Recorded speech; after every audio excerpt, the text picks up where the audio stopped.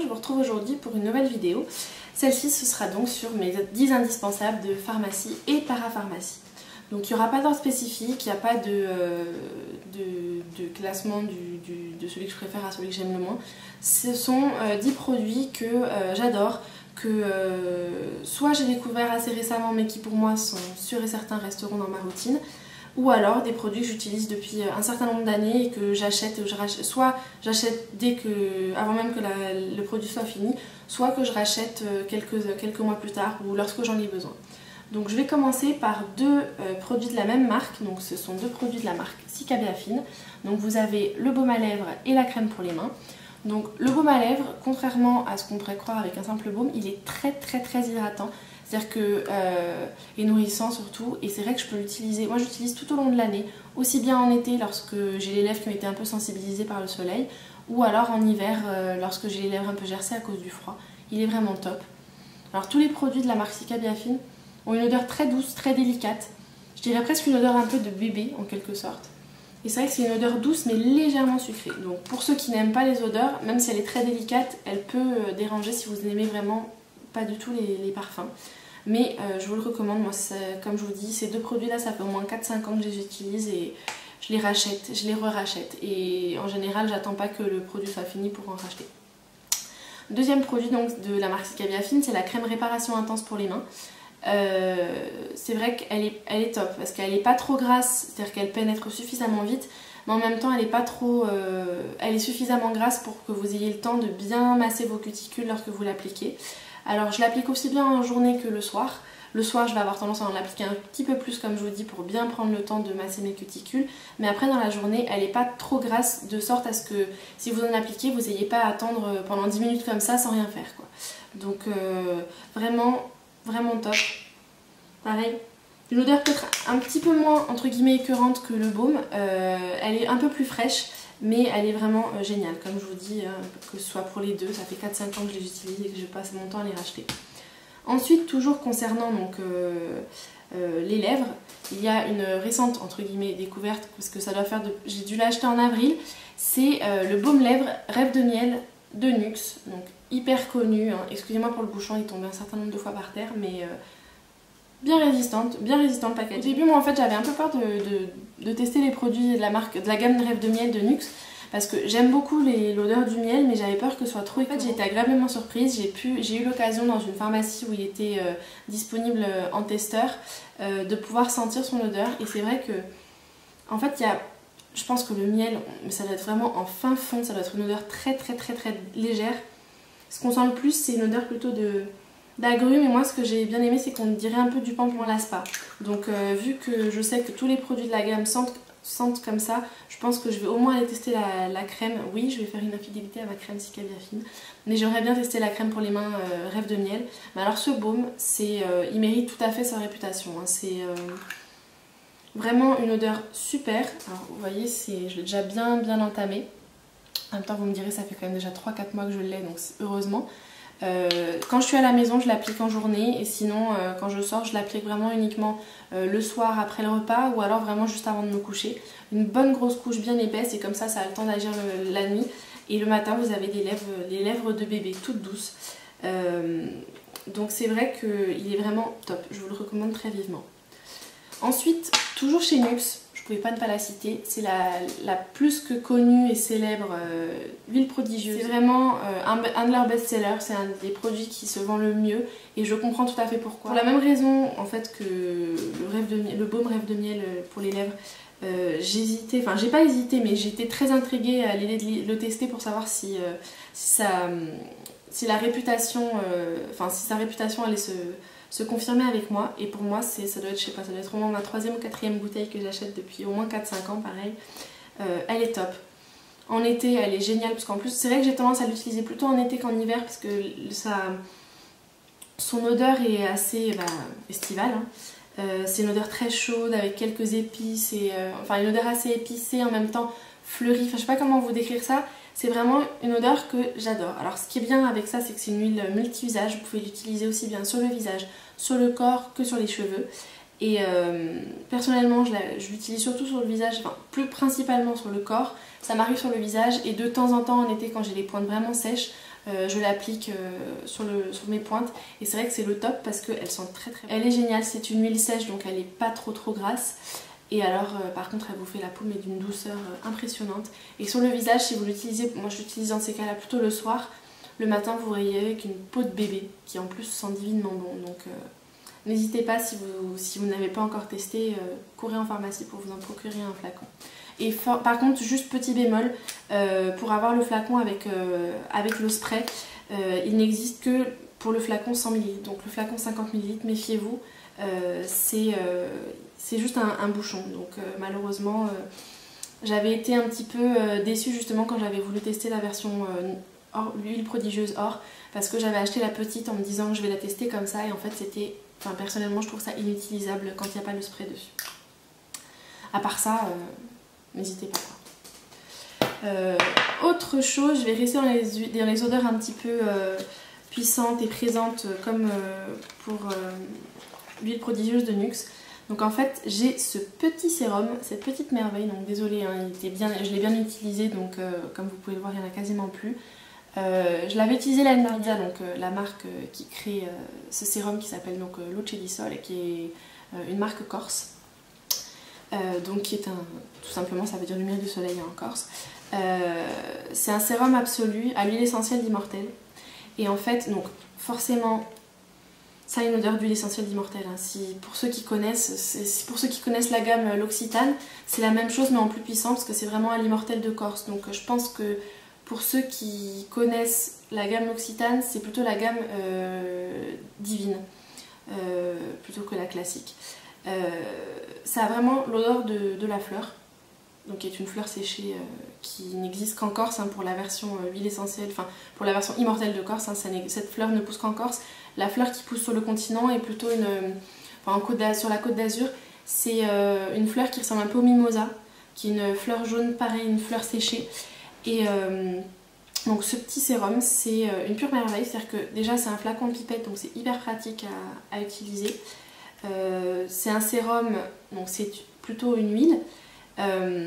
et personnellement, quand j'utilisais, comme, comme il est marqué sur le flacon, j'utilisais 2 à 3 gouttes matin et soir. Donc en général, je mettais une goutte sur le front, une, goutte sur la joue, une goutte sur le menton, une, goutte sur, enfin, une goutte sur chaque joue. Et après, j'étalais sur tout le visage. Et c'est vrai que c'était juste génial. Alors que pourtant j'ai la peau mixte. Et en fait, euh, l'huile essentielle d'immortel a des propriétés euh, cicatrisantes. Donc c'est pas forcément pour le côté vraiment très lumineux ou anti plutôt au niveau des propriétés cicatrisantes que j'étais euh, contente de l'essayer. Donc oui, je le cite en parapharmacie et pharmacie parce qu'en fait en Corse, on peut la trouver dans toutes les parapharmacies et pharmacies. Je sais que sur le continent, on en trouve de plus en plus. Il y a de plus en plus de points de vente. sur Paris, il y en a beaucoup, notamment euh, je sais qu'il y avait une, parapharmacie euh, qui est juste à côté des Champs-Élysées qui la vend, donc c'est juste, il me semble, euh, c'est la, pharmacie qui se trouve dans la rue de la Boétie, juste côté Champs-Élysées. Donc après, je sais qu'il y en a de plus en plus, il suffit que vous alliez sur le site internet de, de la marque Imiza pour connaître les points de vente. Donc ça, je vous la recommande vivement si si vous, si vous ne connaissez pas encore les produits de la marque et euh, si vous ne connaissez pas de produits de marque Corse, je pense que c'est une bonne idée pour commencer. Parce que c'est vrai que les produits de la gamme sont vraiment géniaux, les produits de la marque, mais pour moi personnellement, c'est une odeur que je trouve trop, trop puissante, trop entêtante et euh, le sérum a juste l'odeur d'immortel, c'est pas plus puissant que ça et je trouve ça euh, suffisamment léger entre guillemets pour moi pour pouvoir l'utiliser. Donc après, c'est aussi une découverte de fin d'année dernière il me semble. Euh, ce sont les gouttes bleues d'Inoxa, qui se présentent comme ceci. Alors le même, hop, vous ouvrez votre bouchon et en fait c'est une espèce de petite pipette euh, en caoutchouc. Donc euh, vous renversez et vous faites tomber votre goutte. Donc je vais pas le faire comme ça parce que sinon malheureusement comme c'est du bleuet, l'eau de bleuet ça énormément donc méfiez-vous seulement pour ça. en fait ce sont des gouttes qui sont extrêmement connues parce qu'en fait c'est une lotion hydratante pour les yeux euh, et vous en mettez une à deux gouttes euh, dans chaque œil plusieurs fois par jour. Euh, lorsque vous avez les yeux un peu secs ou quoi, franchement, le top. si vous avez les yeux fatigués en fin de journée, si vous avez voyagé en avion, vous faites des longs voyages en voiture, si vous avez regardé trop longtemps votre écran, que ce soit d'ordinateur ou de télé, c'est génial, ça vous apaise les yeux et personnellement aucune allergie à déclarer. Euh, étant donné qu'il est formulé pour les yeux euh, sensibles Et pour les porteurs de lentilles, vous n'avez rien à craindre là-dessus. vraiment génial. Je, suis très très contente de les avoir découverts. Ensuite, deux produits de la marque Bioderma. Donc tout d'abord, le shampoing No DDS Plus anti-récidive. C'est un shampoing à la base antipelliculaire intensif et c'est pour les pellicules persistantes et les démangeaisons. Donc personnellement, je n'ai pas de problème de pellicule. Euh, mais j'avais eu un souci en fait quand j'étais au lycée, l'année du bac, hein, ça arrive souvent. J'avais, à cause du stress, je me démangeais énormément le, cuir chevelu et en fait j'avais fini par me faire des plaques euh, d'irritation. Et euh, j'avais demandé à ma tante qui est dermatologue un conseil là-dessus et elle m'avait recommandé ce, shampoing là. Et en fait, dès que j'ai des problèmes de, cuir chevelu irrité ou, ou, des problèmes de démangeaison, j'utilise celui-ci. ça marche à tous les coups. j'utilise au début, ils disent 1 à 2 shampoings 3 fois par semaine en période d'attaque et 1 à 2 shampoings par semaine selon la prescription. Donc c'est euh, en entretien, j'entends. Euh, mais c'est vrai que euh, dès que je parle de démangeaison, ça me gratte la tête. c'est vrai qu'il est vraiment génial. Rien à déclarer d'autre. Ça fait au moins la quatrième ou cinquième bouteille que j'achète depuis le lycée, donc ça commence à faire un petit moment. Mais n'hésitez pas si vous avez des problèmes de cuir chevelu qui démangent. Le DS Plus est parfait. Euh, et ensuite, la, fabuleuse et fameuse euh, créaline H2O de Bioderma. Donc, c'est une, solution micellaire donc, euh, qui démaquille le visage. Alors, ils disent qu'il ne faut pas la nettoyer, ça sert à rien de la, rincer. personnellement, j'utilise soit une lotion après, soit je, je parfais mon, démaquillant, mon démaquillage pardon, euh, en, nettoyant le visage avec donc, le Visible Clear de Neutrogena dont je vous ai parlé récemment ou alors tout autre savon nettoyant euh, pour le visage. Euh, mais vraiment, ils ont changé la formule parce que je me souviens que les premières fois que je l'avais acheté, impossible de me démaquiller les yeux avec, elle me piquait trop et ça m'enlevait pas le maquillage. pourtant c'était pas du maquillage waterproof, mais ça voulait pas partir, le, mascara, je m'arrachais les cils et tout ça, c'était impossible. Maintenant, aucun souci, je me démaquille les yeux avec, donc Quelquefois, quand je sais que j'ai un maquillage un peu chargé, je vais avoir tendance à utiliser un démaquillant biphasé euh, spécial maquillage waterproof pour bien tout enlever sans frotter. Mais euh, franchement, euh, parfaite. Le matin, ça m'arrive quand j'ai pas envie de me mettre le visage sous l'eau, d'utiliser uniquement la, créaline.